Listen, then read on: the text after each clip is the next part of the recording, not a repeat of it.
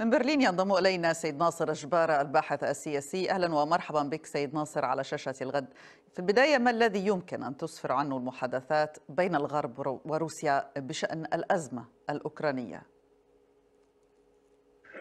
بداية نهارك سعيد. أنا أعتقد أن الوصول إلى هذه الصيغة من بحث الموضوع الأوكراني هو في رأيي أن الروس يكونون قد حققوا يعني انتصار مرحلي إلى أن الكرملين كان منذ البداية يسعى إلى التباحث مع الغرب على أكثر من مستوى وهذا ما سنراه الأسبوع المقبل في جنيف، روسيا الولايات المتحدة، روسيا ناتو، روسيا منظمة الأمن والتعاون في أوروبا، أي روسيا وأوروبا، والهدف الثاني كان دائما الحديث حول كل ملف على حدة وهذا الآن الروس تمكنوا أعتقد من من تحقيق ذلك.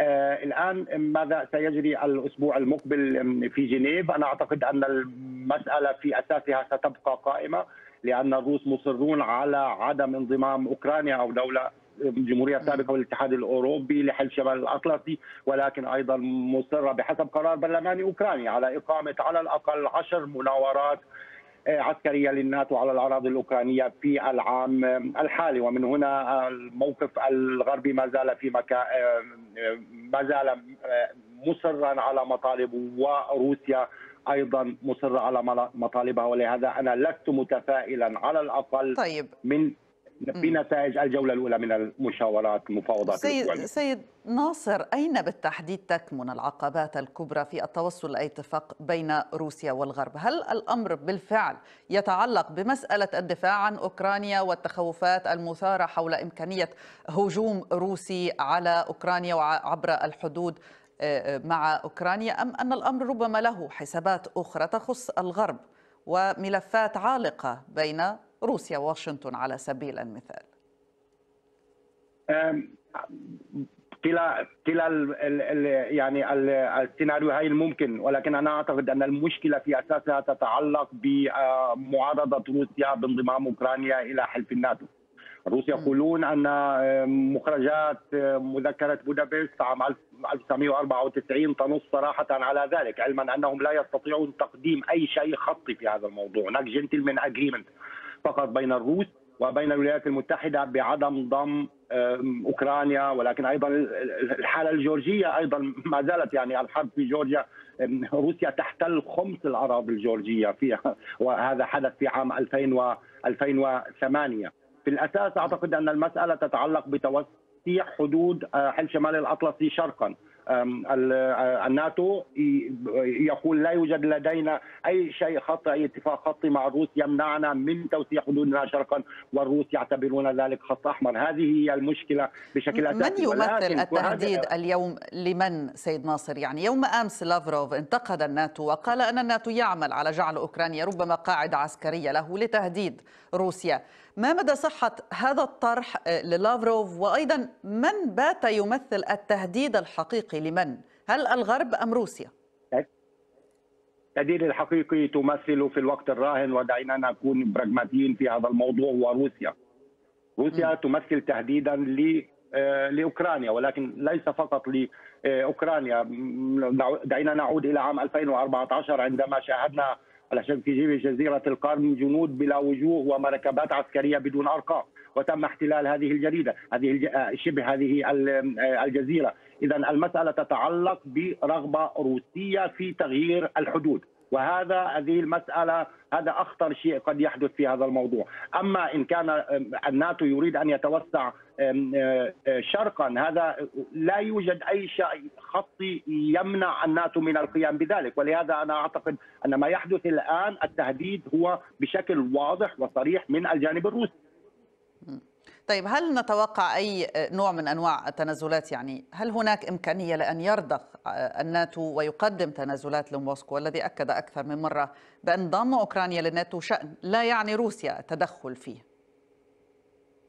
إيه، أنا أعود وأرجع دائما إلى النموذج الفنلندي في هذا الموضوع.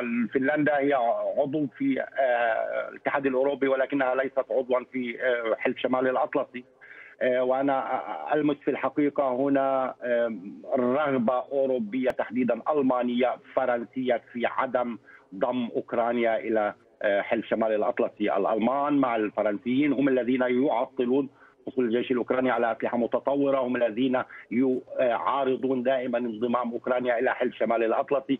ولهذا أنا أعتقد أن هذا النموذج قد يناسب أيضا أوكرانيا بحيث هي قد تنضم إلى الاتحاد الأوروبي إذا توفرت الشروط لذلك ولكن أن تبقى بعيدة عن حلف شمال الأطلسي الا تنضم إلى حلف شمال الأطلسي. وكما قلنا هناك دولة جارة لروسيا تعتبر نموذجا لهذا الموضوع وهو وهي فنلندا ولكن هذا ينطبق أيضا على جورجيا وجمهوريات سابقة أخرى في الاتحاد في الجمهوريه السابقه في الاتحاد السوفيتي ولهذا أعتقد أن هذا النموذج قد يناسب الطرفين ولكن هذا يحتاج إلى محادثات مضنية ستبدأ الأسبوع المقبل في جنيف أعتقد أنها كما قلنا قلت في البداية لست متفائلا في البداية لأن الملفات الخلافية في أساسها الخلاف في أساسه ما زال موجود.